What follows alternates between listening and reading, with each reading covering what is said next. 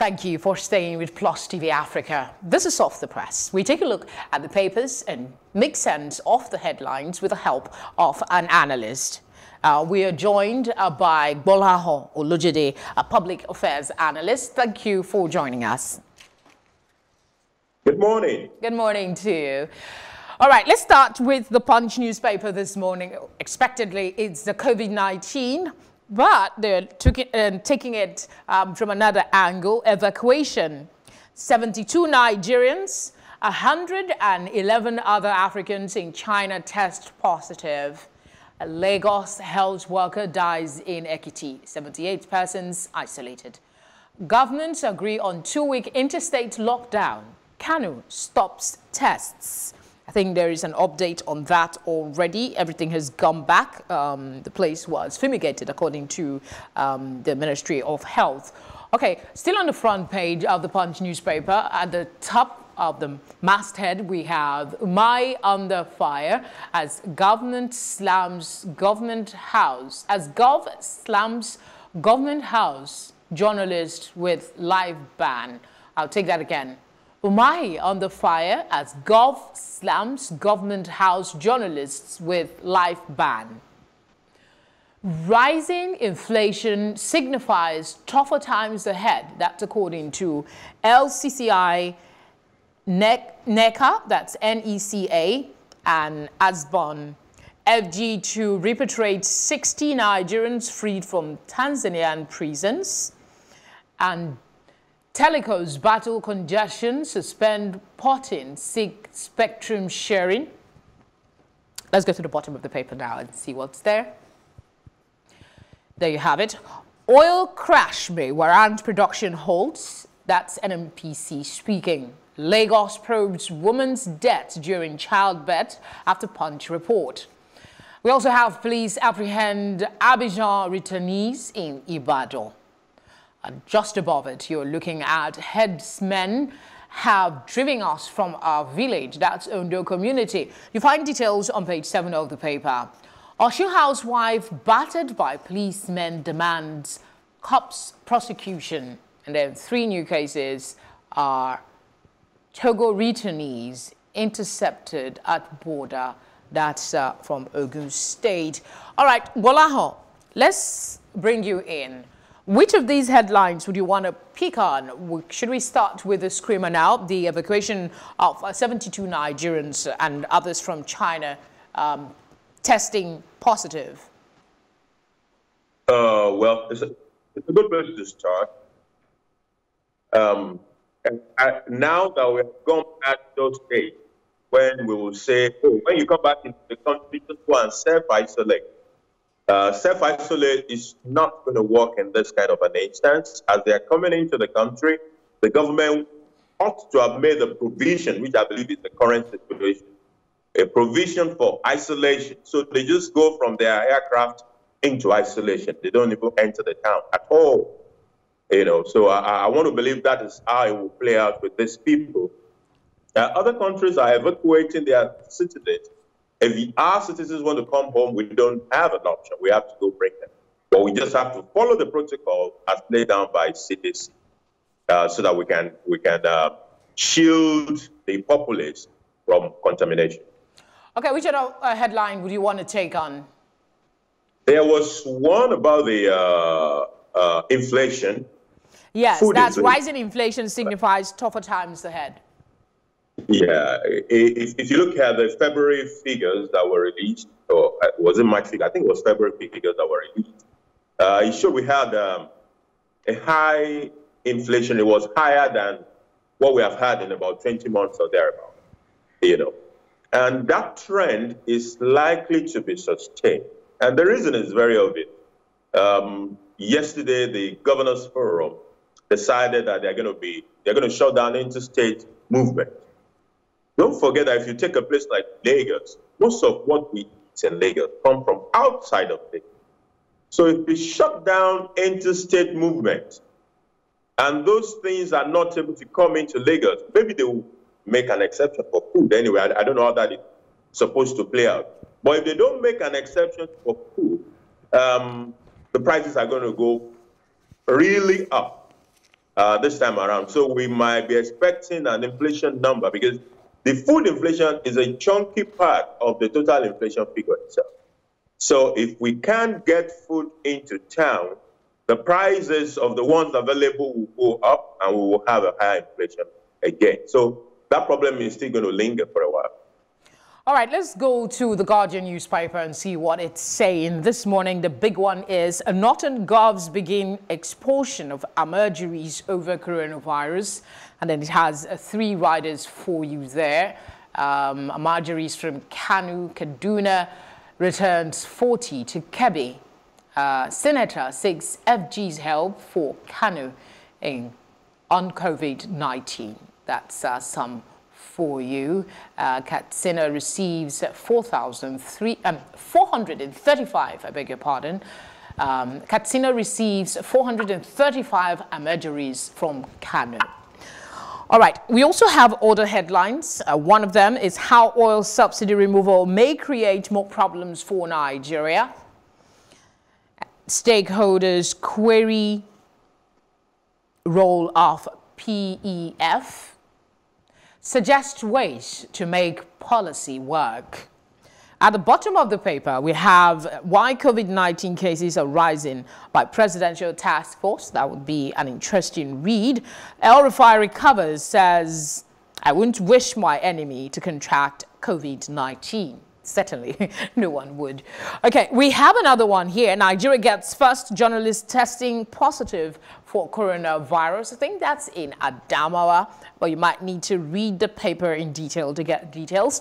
Um, Herbal lockdown of COVID-19, solution to pandemic? That's a question on science and health uh, from the Guardian newspaper. Well, over to you. Okay, we have the uh, return of Almajiri back to their state of origin. Um, I, I, don't know how exactly that is supposed to solve any problem. If you if they're already infected in your state and you move it move them to another state, honestly, I, I think it's a messy, messy affair. We left the issue of Almajiri for too long, for too too long, and now we're trying to you know, find some patch patch approach to to fixing it. It, it, it doesn't work like that. So what Kano is doing, I, I, I hope all the northern state governors are carried along with it, so that even when these Almajiris are moved from one state to another, the state receiving them is aware they are coming. Just that, not just that somebody comes, pack some people, take them to one place, and just drop them there. That way, the, the, the, the receiving state can take ownership of the Almajiris that are being returned to them, and uh, the isolation process can be followed through. It means that each of those states needs to make preparation for where to isolate these people when they bring them into the state. So that is a very critical part of this returning of uh, Almajiris back to their home state. All right. Um, I would also like to talk about the uh, oil subsidy. There, there's something about oil subsidy and the uh, PEF. Okay. I don't think we'll have a better time to remove fuel subsidy than now. As a matter of fact, there is no subsidy at the longer anyway because of the current price of oil in itself in the international market.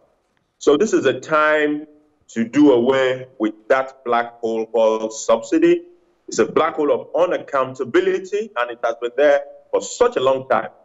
Now that the oil price has crashed, is the best time to get rid of it. However, the, that news item mentioned the issue of PEF. Now that's the equalization. Now, government is saying via PEF that because uh, someone has to move fuel from Lagos to Kano or Lagos to Borno, that those transportation effects should be compensated so that fuel can, can, uh, can be sold at about the same price in all parts of Nigeria. The, the, in the first instance, the PEF concept has failed totally because well, in spite of PEF, never sold for the same price in parts of uh, uh, Nigeria. The price in Kano, the price in uh, even the price in the East are different. What you have is that a few state capitals sell price at the control price of 145, or I think it's 123.25 now, from time immemorial. So PEF still remains some sort of subsidy. It will remain a whole of unaccountability in that space. So we need to get rid of PEF as well as the subsidy. Everything in totality. Remove the PEF. All right. Let's run by, by, by, by, by Let's look at the Nigerian Tribune now. The big one here is Govs adopt two weeks interstate lockdown. That's uh, one of the big stories from yesterday. Uh, call for decentralization of COVID-19 response. You find details on page four of the paper. FG states LGs share 780 billion naira for March may get zero allocation for June. Uh, that's on page two of the paper. More headlines on the Tribune. Brent crude oil price hits 21-year low as at $16 per barrel. Nigeria recorded crude oil gas sale of $434 in January. That's according to the NNPC. After four weeks, El Rufai recovers from coronavirus. COVID-19 spreading like wildfire, Presidential Task Force states Nigeria records 91 new cases, total now 873. Northern govs to repatriate uh, Almajiris to states of origin. That's another one that we just uh, looked at uh, from the Guardian newspaper. Uh, we have ASUU reject submission of BVN as condition for payment of withheld salaries. Kano testing centers suspend operation over lack of kits. There is an update to that story already. And then we have Oyo COVID-19 approach holistic long-sighted. That's Alonge speaking, a couple of writers to that story. Uh, Gbolahan, you want me to pick for you or you want to go ahead and take one that you really like to speak on? For me, I'll take it. Okay. Uh, governors adopt uh, two weeks uh, interstate lockdown. Uh, I want to get your thoughts on that, calling for the decentralization of COVID-19 response. Do you think that's a wise decision at this time? The decentralization will mean a whole lot of coordination. After you you decentralize, you, you take some commands to some parts of Nigeria as well. Uh, you now need coordination. Are those other places ready for this decentralization? We, have we worked out the structure for the decentralization? And that is very, very important. I understand their concern. Nigeria is a big place. Now, if you want quicker responses to most of the issues we're having, it is better we take those things closer to the people. But then, while you decentralize, you must have an effective system of reintegrating so that those decentralization, as far as the center is concerned, they don't feel the effect of the decentralization because all information feed into the center in real, in real time. So they're able to know if you call the center, it will be able to tell you what is going on in one, two, three, four, five, six, seven other centers that is being coordinated. All right. If we can work that out, it is perfect. The nation is up next. Uh, the big one here is governors okay interstate lockdown for two weeks. That seemed to be running um, across uh, board this morning, the lockdown for two weeks. And inside, you have a whole lot of riders for you. Ekiti records first debt. Uh, State gets index case. Um, we also have others. El Rufai uh, relieves battle against virus is another one on the front page of the nation. Outrage as governors bars report, reporters from government house. Uh, the oil price issue is also captured here. ASUU rejects BVN condition for salary payment. Uh, movement of coronavirus patients uh, banned. I, I, don't know if uh, you've spoken on the movement, the banning uh, coronavirus patients from uh, state to state, uh, but I would like you to speak on ASUU rejecting the BVN condition for salary payment. some are saying the move by the presidency to go ahead and pay those who who had refused to join the payroll system that was introduced um, is a good thing. But now we're hearing another one. What's your thought? uh, well, ASUU some members refused to join the IPPIS for, for the reasons they have given, which, in my opinion, are untenable. Or don't let me say they are untenable. I think there are things that could be worked out. There's no basis for outright rejection of IPPI, in my opinion.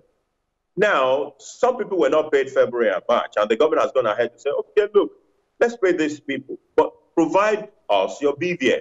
And they are still resisting the provision of the BVN, which means they believe that the BVN is probably still going to be used to put them on the uh, uh, uh, IPPI. So that nexus is something that needs to be worked out. It's only that right now the number one problem facing the country is COVID. Otherwise, um, we, we, will apparently everybody has even forgotten that that's what been on strike, and that the IPPIS problem has, has lingered as right, has not been resolved uh, until the, the president is now saying, okay, pay them. So I think by the side, while all this is going on, um, we, we, meetings are being held. We could still continue to have discussion along this line so that we can resolve that matter by the side. It's not a central matter for now, but we still need to deal with it. I don't know why they don't want their BVN. The BVN, they provide it to the banks and uh, other people that want to pay them. Why don't they want to provide it to the government? All right, uh, please recap your thoughts for us on the ban on interstate movement of COVID-19 patients. That's part of the decision that was taken by the governors. You know, the some of the cases that are extending to other states were actually imported from some states. Uh, you have the case of Adamawa, uh, which was imported by someone from Kano. Someone came from Kano into Adamawa and that was how Adamawa got his own uh, index case. So the, the governors are getting worried about this movement. And here is it. If I'm doing all my best in my state to keep things in control, but I can easily have people coming from other states and bring these things in, there, there will be a problem. So I, I agree with them that we need a period um, in which we sort this out so that that interstate uh, transfer of possible COVID cases can be better managed. I'm not sure if it is two weeks uh, uh, lockdown of interstate movement that will solve this, but there has to be some sort of restriction on interstate movement. Otherwise, um, even a state cannot be said to be in control of its own COVID situation if other states can move COVID patients into the, into the state. Okay, Let, us see what we can However, do with the papers that are left. For, okay, apologies for um, interrupting you like that. Okay, let's see what we have with Daily Trust newspaper. The front page has um, as push for 110 billion naira for discos intensifies. No template to reach poor Nigerians with electricity. Uh, that's um, on the front page. You're looking at it now. Uh, we also have uh, two writers to read. Free power not possible. Impact will be bleak. That's according to experts. Absence of consumer fund, huge gap. Of situation remains worrisome. That's the federal government. Why CEOs are pushing for early restart of economy. Governors declare 14 days 14-day interstate lockdown. Uh, those are some of the headlines for you. And of course, for our Muslim brothers and sisters, Ramadan, look for new moon today. That's the Sultan speaking. You'll find details on page six of the paper. FG retests Chinese medical experts today. Businesses thriving under lockdown at FCT suburbs. While we're happy business is thriving, we're worried that social distancing is an issue. Uh, Gbolahan, What's your take on the, elec uh, the electricity issue? No templates to reach poor Nigerians with electricity, especially now when people are home and most of them need some form of uh, distraction to occupy their minds. Uh, I, I, think it's not absolutely true. I understand what they're trying to say. It's not as if you can find the poor. Um, I mean, there are poor that, are, that live within the affluent or the middle class, you know, as well. But if we are talking of the lowest rung of the ladder, if that is uh, if what our focus is, the truth is we know where they stay. If you talk about Ikoyi, is it poor people that live there? The answer is no. If you go to Ijora is it poor people that live there? The answer is yes. So in Lagos, if you take it for example, we know where the poor live. So significantly, whatever we want to do to reach the lowest rung of the ladder in a place like Lagos, and I believe in every other we know where the poor live. Um, maybe to now constrain the power to do, and, and think of think of it, they don't consume much power. That's the truth. They don't run the air conditioners all over the open and, and several other things that are mega consumer of electricity. So I believe that to a certain extent, if we want to give the poor light, we know where they live and we can give them light. All right. That's that's my. Thank you very much, Gbolahan, for your time with us. Thanks for having me. I trust you're keeping safe. I'm trying to do that by every means. All right. Do take care, and we'll see you soon. All right. It's a wrap on Newspaper Review this morning. We're back again tomorrow with all the headlines for you. In the meantime, do the needful. Stay home, be safe. I'm Felicity Ezewuike.